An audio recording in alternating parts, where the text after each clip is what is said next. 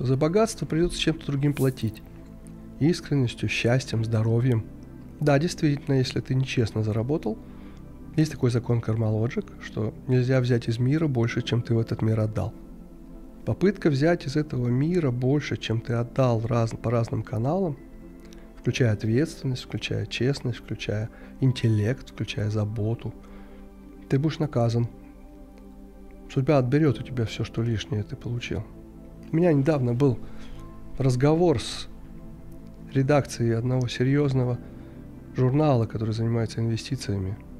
Серьезнейшие специалисты разговаривали со мной. Сначала разговор был о том, какие бывают инвесторы. Эта тема мне не очень интересна, но я на эту тему там с ними поговорил. А потом они подсаживаются, говорят, ну вы еще что-нибудь как психолог про деньги расскажите. Я говорю, как психолог не скажу, а как специалист по судьбе расскажу.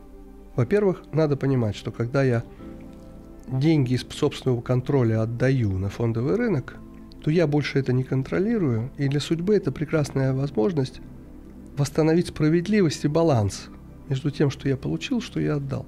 И поэтому, если где-то недополучил, где-то меня обманули, где-то недоплатили, то как раз через фондовый рынок мне это вернется. А если я кому-то обманул, то как раз через фондовый рынок у меня эту разницу отберет. Мало того, обязательно нужно следить за тем, кто создал ту компанию, в которую я вкладываю деньги. Если эти деньги на эту компанию были нечестно заработаны, то как раз фондовый рынок – инструмент отобрать у этих людей то, что было нечестно заработано.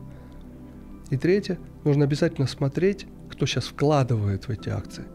Если в эти акции вкладывают люди, которые эти деньги нечестно заработали, случайно заработали, не вложили труда ни ответственности, ни интеллекта, ни сил, то фондовый рынок – это хороший способ у них забрать то, что они получили лишнее.